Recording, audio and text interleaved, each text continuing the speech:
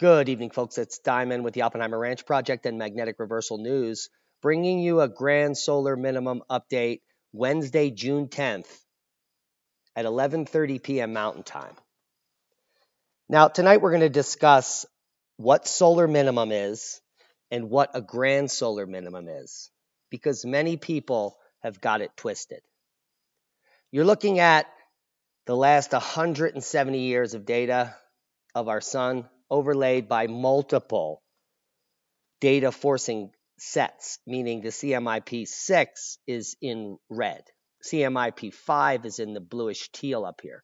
So these are different uh, solar models that use are used to predict solar activity. And you can see the solar prediction using CMIP6 of solar activity for the next one, two, three, four, five, six, eight, or 10 cycles is way down here, well below 1361 watts per square meter.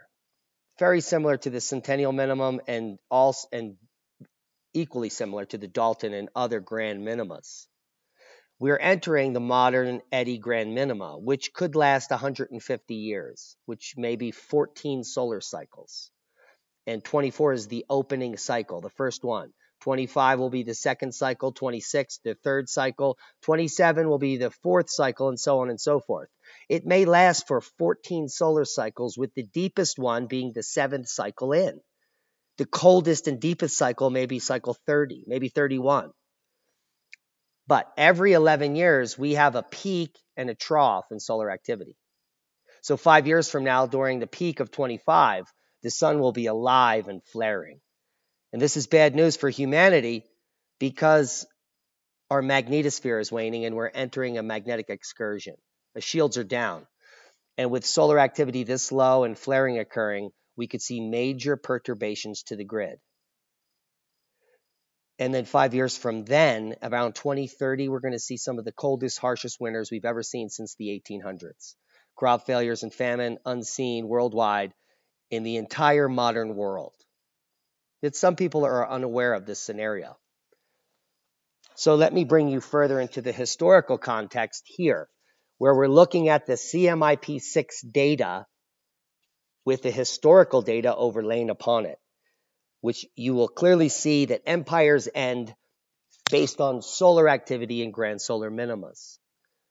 Here is 0 AD, the fall of Rome after the Roman Warm, here is when the Vikings prospered, the medieval warm, and then the end of the Vikings around 700 AD, and the Little Ice Age. We'll get back to this graph, but I want to talk about Thor News, which is why I'm doing this video. Someone sent me a link to some videos he's done recently, and I want to just break down this individual without trying to badmouth him too much.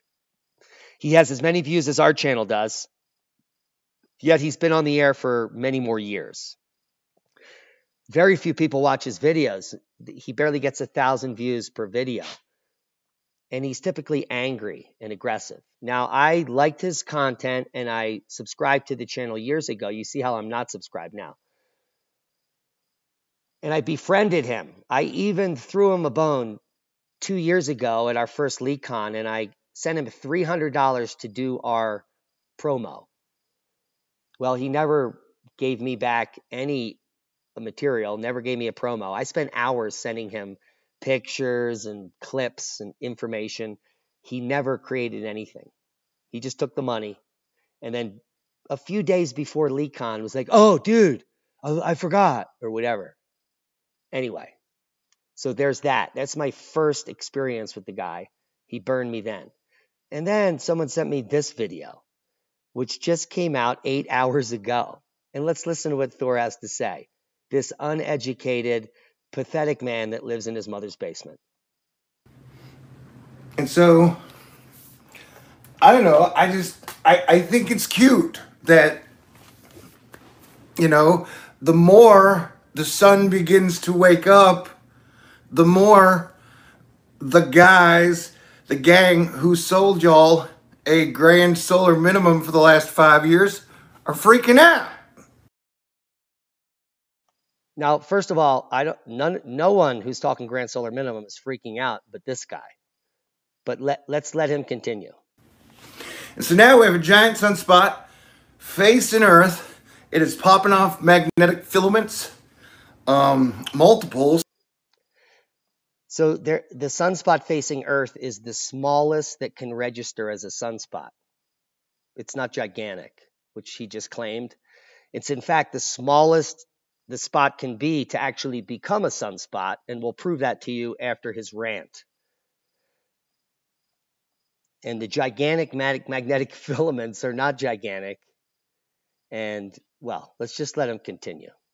It is definitely showing activity it is definitely showing that the sun is waking up and that uh, it looks like anyone who put all their eggs in a grand solar minimum basket are totally wrong. Like it doesn't look like the mini ice age panned out, bro. This guy is so stupid, he doesn't even know how stupid he is. First, look at his hair. And I thought he was like a 23 year old kid, and he turns out to be a 56 year old idiot that's all the further I'll go there. Please, I'm going to link you to that video below. Go watch the rest of his stupid rant while I teach you about the actual science. Let's come over here and check out the gigantic spot that he claims is blasting off filaments. This is the sun, the solar disk. There are no spots on it. There's a small plage up here turning around the limb. And this is the tiniest spot you could possibly have before it gets numbered. Okay? And just just about six years ago. Sunspot 12192, I remember it greatly. It's bigger than Jupiter, was the 33rd largest sunspot recorded in human history. This isn't even the biggest one, but this would be a big spot here. This 12194 is the same size as the spot that we have today, the tiniest spot you can get which shows you how grossly incompetent Thor News is on reporting on the sun. They have no idea what they're talking about. Thor News, if you're listening, this is a tiny sunspot, just like AR 2465 that's on the solar disk right now. And this is a gigantic spot. So there's, or 2765. In fact, I think 2765 might be even smaller than this spot. And it probably is. So let's just clear the the wind there that he has no idea what he's talking about. Second, the sunspot cycle. There's solar max and solar minimum that happen about every five and a half years. Solar max and then solar minimum five and a half years later. Five and a half after that, max and minimum. Now, these 11 year solar cycles are not an actual solar polar reversal. They're just half of the actual solar polar reversal, the complete reversal of the sun. And what I mean by that is that in one solar cycle, one 11 year cycle, this one here, we're only seeing the, the, the solar polar reversal from north to south. And then it will be a whole nother cycle where it goes from south to north and so on and so forth. So it takes 22 years for a full solar polar reversal. And sometimes grand minimas contain three of those. And you can see here where we are. We are at the deepest solar minimum in over 100 years. And that tiny little spot is not making anyone in the grand solar minimum community confused. The only one is confused is Thor News. So let me bring you here and clear some more information up. What we're looking at here is the yearly average sunspot numbers from 1610 to 2017, the central England temperature above. And you can see here the Maunder minimum, the Dalton minimum, Centennial, and the modern Eddy minimum. The modern eddy is going to be a grand solar minimum, like the Maunder minimum, where temperatures drop. See how temperatures dropped here for about 65 years? Yeah, because within that 65 years, there were six solar cycles. And here, the temperature dropped during the Dalton minimum. That was during two solar cycles 10, 20 years. This drop here during the centennial minimum was 10, 20, 30 years long. Three cycles. Are you picking it up?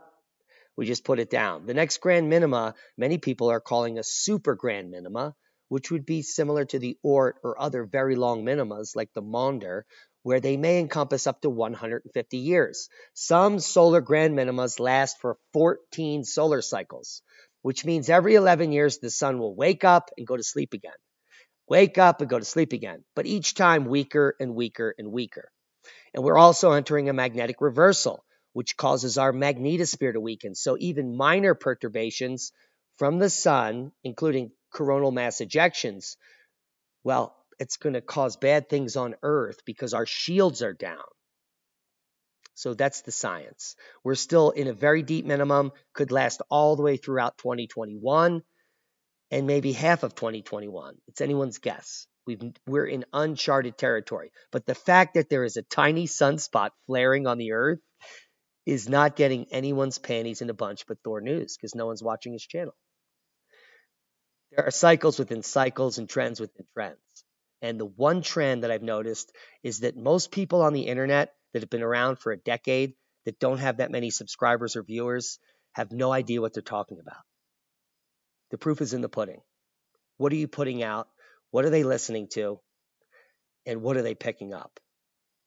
Here's the drop down into the new modern grand minima, which happens every several hundred years. The Sporer, the Maunder, and now the Eddy. The Wolf, the Sporer, the Maunder, the Eddy. There's always minor perturbations. This would be the same as the Dalton. This would be same as the Centennial. But the grand minima is what you're living now. And that means proper prior planning prevents piss poor performance. Just like in other grand minimas, empires fail. I'll leave you links to this graph below and you can do your own homework. And go check out Thor News's full expose on why we're wrong and he's right. He also believes COVID 19 is a pandemic and you need face panties. That's boom. Share this with like minded people. Stick with the winners. If you're looking for facts, stick with scientists, typically those that have been in the field and taught at university, like myself. People that live in the basement that are 50 begging for donations. Well, and they use cartoons as a hook. That's something else totally. We love each and every one of you. Thank to, thanks to our one time donors. I love Thor News. And he's just lost his way. Let's bring him back. Be safe. We love you, everyone.